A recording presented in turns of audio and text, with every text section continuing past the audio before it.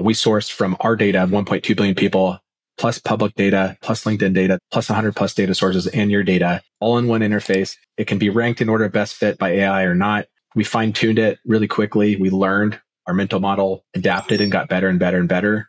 And then we found a search query that we loved, which you can save and come back to and continue to optimize. This is talent intelligence. Initiating becoming a hiring machine sequence in three, two, one.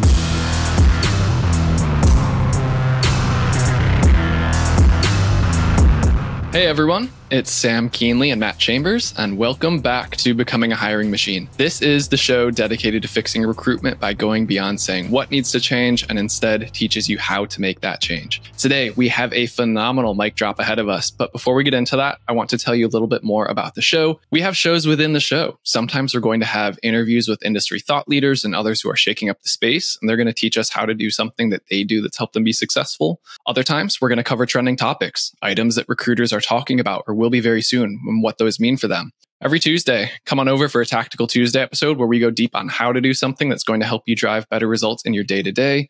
Sometimes we'll shake it up. Q&A. Listeners can drop in questions that they'd like to hear us take on. Send those over to us at podcast at loxo.co. And occasionally you're going to hear a mic drop episode from Matt like today where, where he shares something that he's been bouncing around in his head, really thinking about a lot in the recruitment space and thinks that you need to know about. On that note, we have a mic drop episode that, without sounding too dramatic, I really believe this is one that we're going to look back on in, in a year, two, three years as a moment that positively shifted the recruitment space.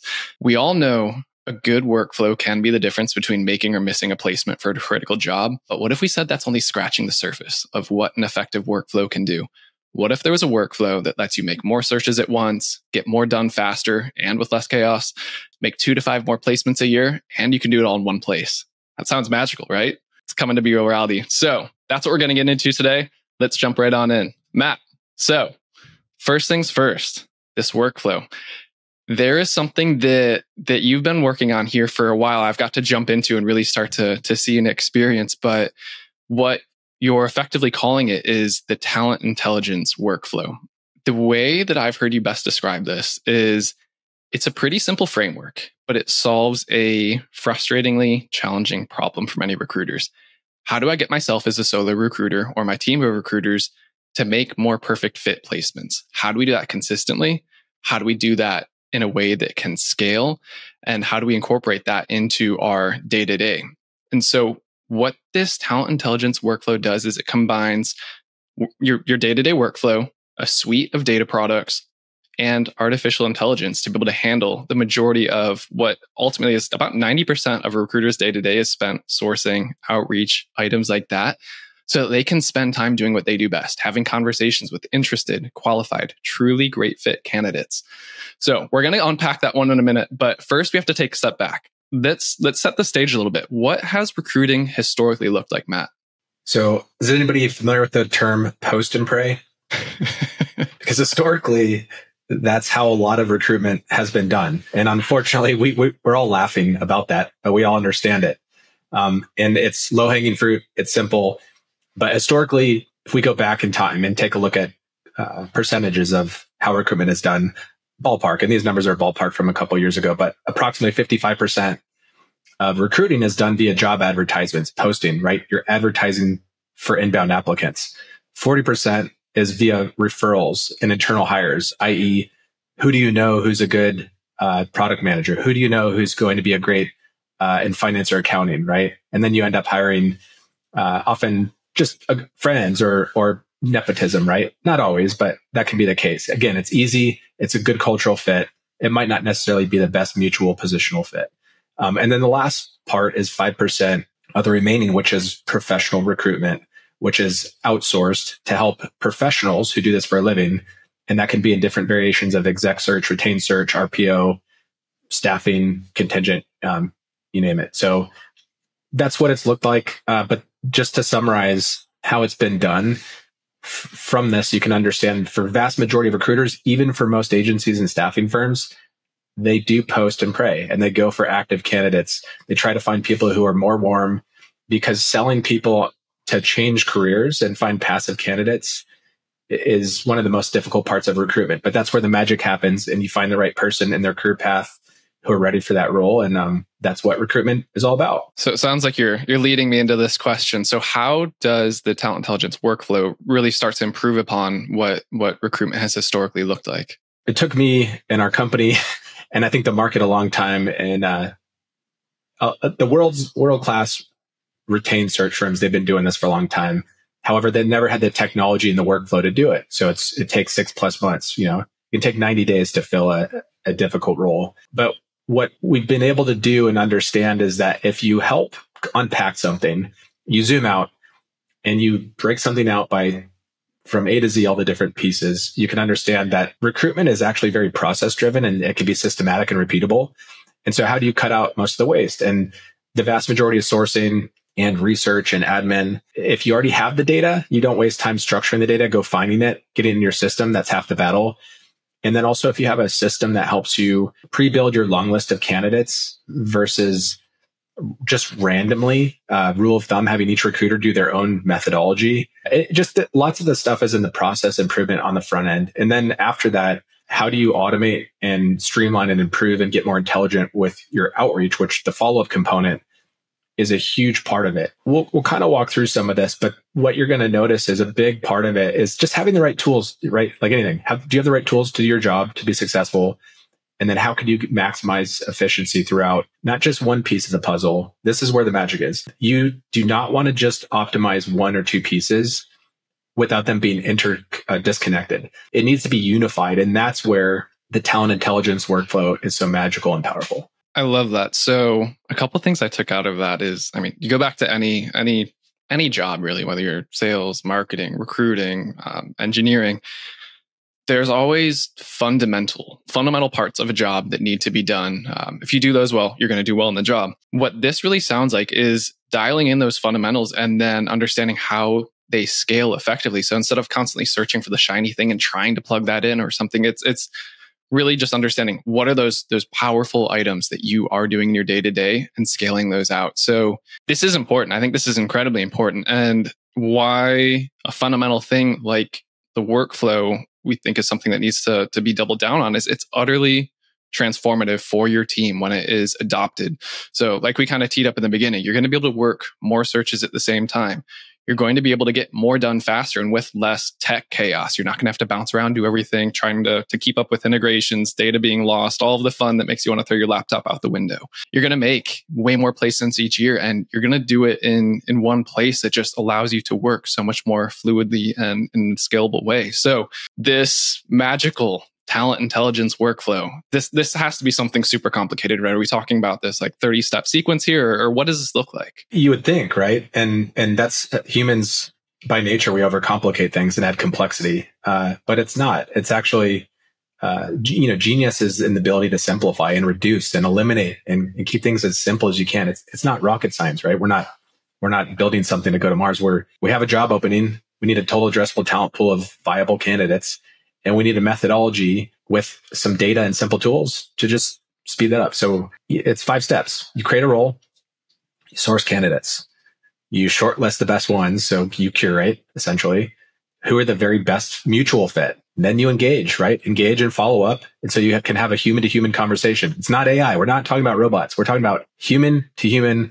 conversation to help somebody understand you're not selling. This truly is the best possible fit for this human being and that's then that's an easy part, right? You just help lead them to, you know, you can lead the horse to water, but you can't force people to drink, and that's that's where really good recruiters can help kind of connect those dots. And I can already hear it. This sounds an awful lot like my current process. Like, what am I missing? That that's a key part of a, a recruiter's day to day. So, what is the the secret, or what is it that makes it so impactful? And it's fun to see people come from outside the industry, and it's and even I've been having lots of conversations for a decade, and everyone thinks they have the same process. They think their process is perfectly fine. They, what's wrong with it? It works. We've been doing this for two decades, Matt. Why, why do we need a change? Well, you don't.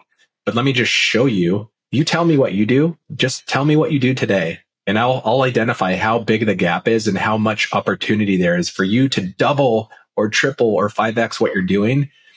If you could do that, would you be open to change? Like, of course we would. And so then you kind of show the difference of how you're doing things. And what unfortunately people do is they don't have a process, they don't have the proper tools, and they jump in and out and in and out of different tools. So you contact four people a day, you get distracted, you go to the water cooler, you jump on a phone call, an interview, um, and you don't get as much done throughout the course of days, weeks, years. Uh, and that's the difference between world class recruitment organizations and teams and ones that um, do okay, right?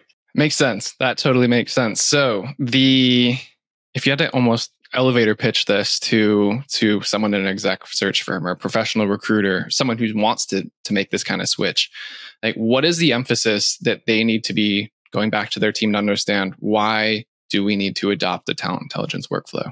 I hate the elevator pitch ones to put an entrepreneur or founders on the spot with those, right? You should be great at it. But um, if you boil it back and again, keep things simple, what are recruiters? What's the job? What job have you done? Why are you here? You are hired to fill a role. That's it, right? But if, if you could perfect things, you would say, I want to find the very best possible human being on the planet for this exact role. That's impossible, right? Well, not, not necessarily. You can find the, the very most optimal, perfect fit. And so the goal ultimately is find the very best possible hire for each hiring company and candidate. And then from the elevator pitch, if you're able to leverage technology uh, in a way that combines workflow, data, and AI to do all those to get the job done as quickly and efficiently as possible, then um, that's kind of the overall objective. Okay, I love it. So special surprise for for listeners we're also going to have a video component of this because this is one of those items where it's it's like i always say prove it show me um, it's it's one thing to be able to say on your website increase your roi by 2 to 5x make more placements but to truly see and understand just how well this workflow works and how easy it is to do matt's going to run us through it today so uh, definitely hop on over to the video version of this if you want to take a look but we'll also talk through it live so Matt, if you wanna if you wanna pull it up, we can we can hop into a job. So what I'm gonna do is I'm gonna try to keep this as tight as we can. Of course, Loxo is not the only software, right? Um, but you'd have to bolt together a lot of different software and tools. But you could do a talent intelligence uh, workflow with many different tools. And Loxo, it comes in one.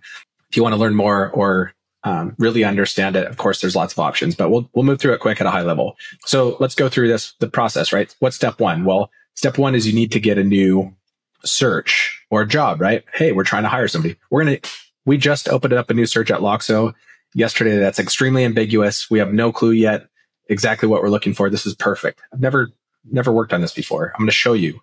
So step one is let's figure out what's the title, right? And this is a very ambiguous one. So I'm going to go ahead and pull this up here. It's a renewals account manager role, right? And that's what we think. Kind of want account manager kind of needs re- renewal specialist. So did a bit of research online, came up some titles that we liked. I'll even show you, like, in fact, I ran a quick, I use GPT chat, generate a Boolean string for me for uh, SaaS companies with account manager or renewal specialist type of roles, right? So it generates this Boolean string, which I'm going to show you in a second why I do that. So now I'm going to do the hiring company, right? So obviously we're hiring for Loxo and now our AI is full strength, going to find perfect mutual matches, right? We're a remote company, so that's fine. But, you know, I'm just going to go ahead and if I wanted to, I could dial that into Denver where we were founded or Austin potentially or Dublin or Europe where we have team members all over the globe. Let's see. So this is a renewals specialist, right? I don't necessarily know what level it is, but we're open to uh, high performing, early in their career type of employee or a director level that builds from the ground up, wants to do the better at you know, so I'm going to keep it nice broad. I need to grab a quick JD. I don't have one yet. So again, I would probably build one out, do a bunch of research or the new cheat code is throw it into GPT and then optimize from there. But I'm going to go ahead, populate that here for now. Of course, I'm going to come back and I would really take the time to get a good one and then load it in here. And the reason why is we would post that to get it out to people who, who are going to come inbound, uh, as well as just for branding, lots of branding um, it, but also we use our own machine learning NLP models to read this to help with the matching and to help understand and learn and evolve. So it's really important. Actually, I should be doing that right. I'm not going to for today. And so now I'm going to go ahead and that's it. I'm going to create the role. So step one, we're creating the role. What's the title? Who, who's the company? It's Loxo and ballpark. What's the seniority level, right? So what we're doing is we're, we're helping to get the, the AI and project going. So now what? Well, today, most recruiters now leave. The average 80% of recruiters, maybe even higher, 85, will just sit around and hope that people apply, right? And that's why professional recruiters love it and they have jobs. You have to headhunt. You have to build talent pools. You have to go outbound while you're waiting for applicants or while you're sourcing on job boards. Well, with the Loxo, step one, create the job. Step two, you don't go anywhere. You go right into Loxo. Now here's the holy grail. You have access to 1.2 billion people, including public LinkedIn, including public profiles, including 100 plus data sources, plus your own database. It's up to date. It's refresh. You don't have to really go anywhere all of the data at your fingertips in one place in ranked order with AI for this exact hiring company. So we just did this. We're on the fly. We're doing a renewals account manager for Loxo. Right now it's USA. We're getting way too many results. So now what? Well, let's go through this quickly and I'll show you how simple this is and how we're going to calibrate. This will designate they're already in our internal database, which is good, but I'm not sure yet, right? We're not sure. We're just going to start to build our mental model and pattern recognition of what we're looking for. So right now, one thing I, I notice is, is pretty senior, right? Skewing senior. Is that a good thing or bad thing? I don't know yet, right? We're looking at some enterprise. It's more account executive sales for now. This looks too much like sales for now. Renewals account manager, account exec. So it's skewing pretty heavy there. So what I would do is fine. We're now going to calibrate it. What I'm going to do here is I'm going to do this and watch how much better this gets immediately just from quick calibration, really fast. Again, the AI is already ranking. It's quite broad for now. If I turn this off, then we have the whole entire universe. You know, we have way too many candidates. So I'm going to keep this on just really quick. I'm going to grab my, my quick Boolean. And the reason why I'm doing this, I don't yet know enough about the search or uh, the talent pool and what exactly I'm looking for. I'm kind of in the early upfront research phase. In exec search firms, they build a talent list of target companies um, competitors domain that takes nine months, right? It's, it's a lot of time. You have to specialize in it. We're going to shortcut that. You can do that, but we're going to shortcut that. Boolean works really well because most recruiters are just filtering by titles. You're going to miss a million people because you don't even know what you're looking for yet. Different roles. If it's tech, you might just put in languages, uh, like Python, Java, physicians and doctors and lawyers and stuff. You really focus on subspecialties. In this specific case, I'm just going to start with this.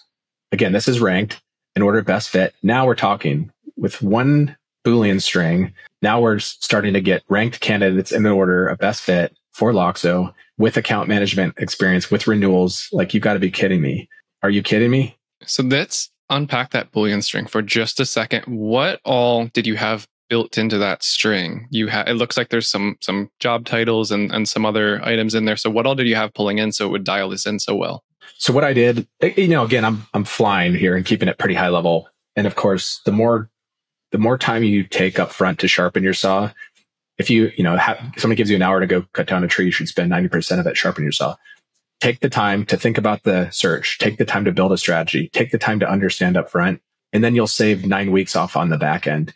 So what I did was I went to GPT and you don't have to use GPT. It just, uh, it's nice and it speeds up some time for now, but you just ask questions, if I'd open GPT, I'd say, what are similar, most the most similar titles for a SaaS company that is looking for somebody that r- renews contracts? And then you, you see what you get, right? And I think I put, what's the most similar SaaS titles? Uh, and I could even do it in Google, right? You could say, um, what are common, the top common titles for in SaaS companies for handling account management and renewals? And it'll give you a list. You could take that too. And then you could take some of those titles and put it in a GPT and say, Hey, build a Boolean string by the way, Loxo at some point will have some button that says auto do the same thing.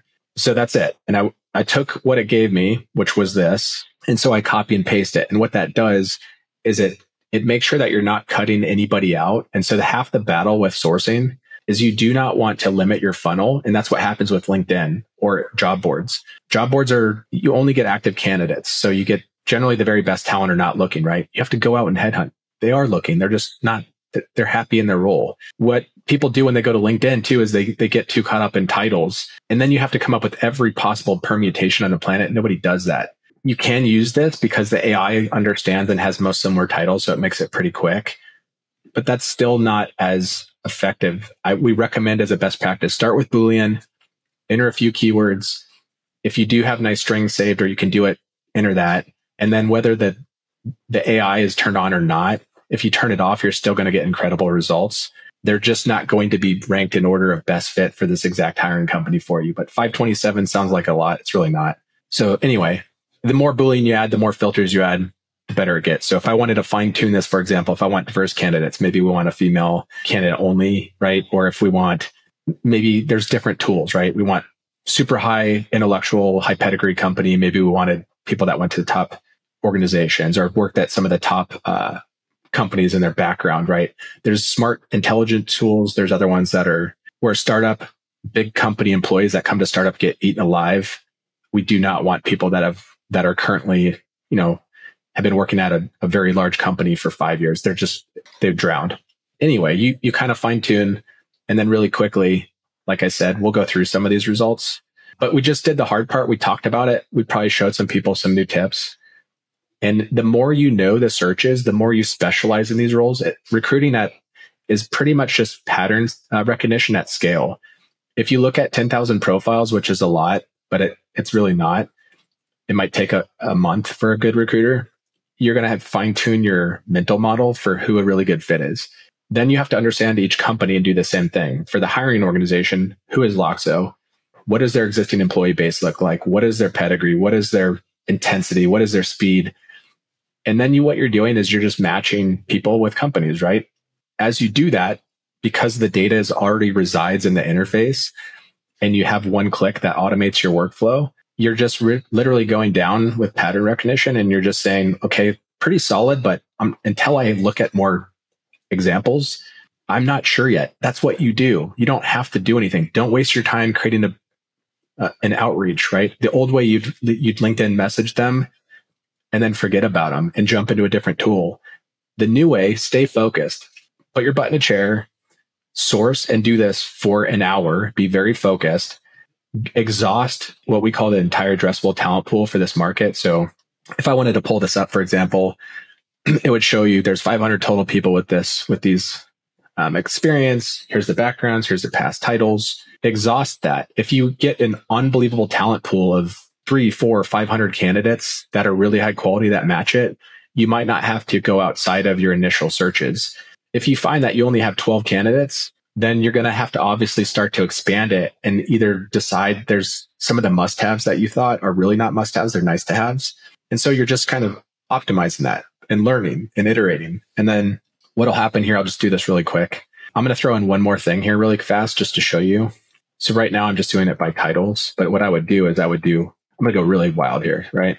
So I want to have not just a recruiter, but I want to have somebody with executive search experience because if they do that, like then they really understand talk tracks and things, right? And so these ones, that's probably too little. So what I would do, recruiter, let's see if they have a recruiter background. And for a renewal specialist, you don't have to know exec search, right? But I was just showing you some quick examples. But this guy actually, wow, renewals team lead, operate with strong focus, Oh my God, look at this guy. Presided over more than 200 customer accounts from SMB to commercial. He led that. He built the teams. He built the systems from the ground up. He has sales experience, former recruiter, smart guy. This guy is incredible. And I would absolutely reach out to this guy, Mark. I'm going to on our call today, less than I'm just kind of moving around. I would go find another, not to say that Mark is not unique, but I would spend another four hours. I would go find another 200 candidates like Mark. And then what I'll show you here, because we have 1.2 billion people in our system plus our own data, at some point, what I'm going to do is I'm going to realize that there's certain candidates like Mark that I want to reach out to. Since Loxo automatically finds their contact info and adds them to our outreach campaign, um, I would pick our template probably and modify it, but I'll go ahead and just build one quickly. Brush past two quick things. It's going to find the contact information and get them into a campaign automatically. Those are often things that you know you've got to jump over to another tool upload a database upload a, a, list two different times build everything in and you're telling me this is two clicks and it's already getting started versus bouncing around which are probably hours for each job or, or person hours hours hours and most people most people don't do this um, they don't have the tools to do it and if their employer or boss lets them go pay for a bolt-on you know email automation drip sequencing tool it can be really really expensive and then they have to pay for that they have to bolt it on and try to integrate with their ATS. Um, they have to go get engineers and sign contracts and get buy-in to integrate with it. And now they've increased a lot of price. The systems don't talk; they're different languages, right? And then they have to go buy another system to find contact info.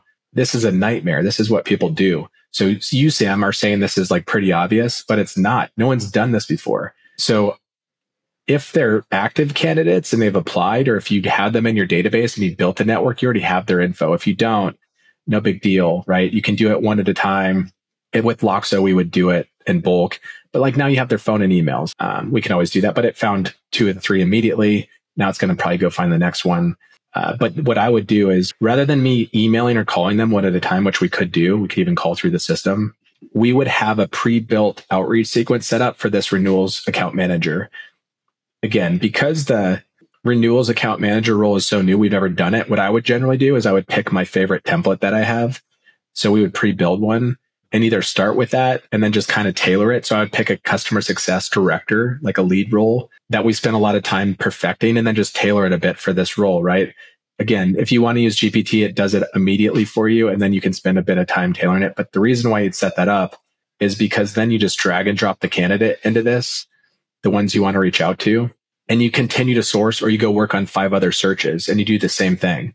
So what'll happen here, I'm going to summarize. Let's say if I'm working on one search, I guarantee, I'll guarantee, we'll, we'll decide what, what type of guarantees we'll do with people. If you do this and if you source 300 high quality candidates for a role and you follow this process, you'll make the hire. You will make the hire extremely quickly. If you have the option and you, you're fortunate to work on more searches at once, we've seen people go from three searches, three to three to seven max before quality dips to being able to do 3x that 21 searches, same velocity, same person, and so what you do is you do the same process. You drop people into outbound. You go work on another search.